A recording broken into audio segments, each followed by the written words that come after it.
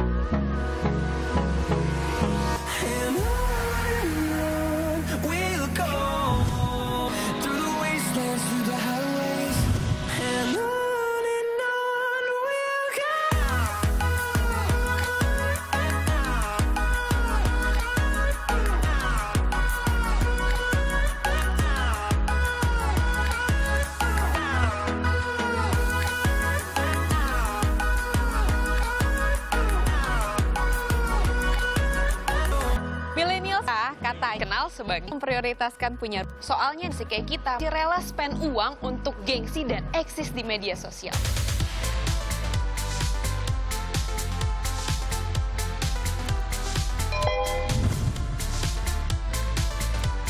Oh ya, dari data Business Insider, 61% income generasi milenial kayak kita nih dihabiskan untuk lifestyle. Misalnya untuk hangout atau makan cantik, untuk traveling atau untuk shopping, untuk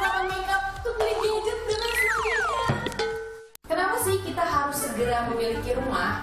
Karena lima tahun ke depan, tepatnya tahun 2021, generasi milenial kayak kita nih yang bermukim dan juga kerja di Jakarta terancam tidak bisa beli rumah atau memiliki rumah.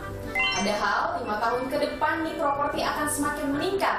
Dan lima tahun ke depan juga properti diperkirakan akan naik harganya mencapai 150%.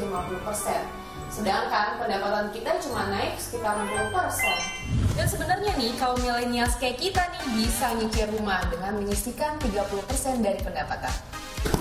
Gak perlu nunggu lama untuk beli rumah walaupun memang banyak kendala sih kayak misalnya pendapatan kita tidak sebanding dengan harga rumah atau bisa jadi karena memang kita tidak punya cukup dana untuk membayar DP atau bisa jadi juga KPR kita sering ditolak bank karena memang historinya nggak standar. Bisa jadi karena kita memang sering nunggak kartu kredit.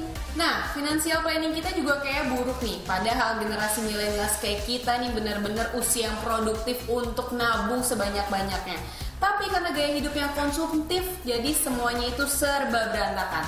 Selain itu juga generasi millennials itu generasi yang cenderung milih-milih. Kita punya modal segini, tapi keinginan kita tuh segini, jadi banyak banget dan gak sebanding. Jadi gimana dong? Hmm, intinya sih kita harus menyiapkan dana untuk membeli rumah dari sekarang dan ubah gaya hidup serta mengalokasikan dana khusus untuk beli rumah.